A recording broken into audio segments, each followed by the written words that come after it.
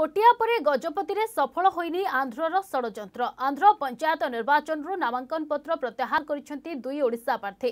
ଗଙ୍ଗାବାଡ଼ ପଞ୍ଚାୟତ ମାଣିକପାଟଣା ଗାଁର ଲକ୍ଷ୍ମୀ ଶବର ଓ ଦ୍ରୌପଦୀ ଶବର ଆନ୍ଧ୍ରପ୍ରଦେଶ ସାବା ଗ୍ରାମ ପଞ୍ଚାୟତ ପାଞ୍ଚ ନମ୍ବର ୱାର୍ଡରେ ସଭ୍ୟ ଭାବେ ଲଢ଼ିବା ପାଇଁ ନାମାଙ୍କନ ଭରିଥିଲେ। ପରେ ଜିଲ୍ଲା ପ୍ରଶାସନର ହସ୍ତକ୍ଷେପ ଏବଂ ପଞ୍ଚାୟତବାସୀଙ୍କୁ ବୁଝାସୁଝା ପରେ ମାଣିକପାଟଣା ଗାଁର ଏହି ଦୁଇ ପ୍ରାର୍ଥୀ ପ୍ରାର୍ଥୀପତ୍ର ପ୍ରତ୍ୟାହାର କରିଥିବା କହିଛନ୍ତି ପାଳଖେମୁଣ୍ଡି ଉପଜିଲ୍ଲାପାଳ।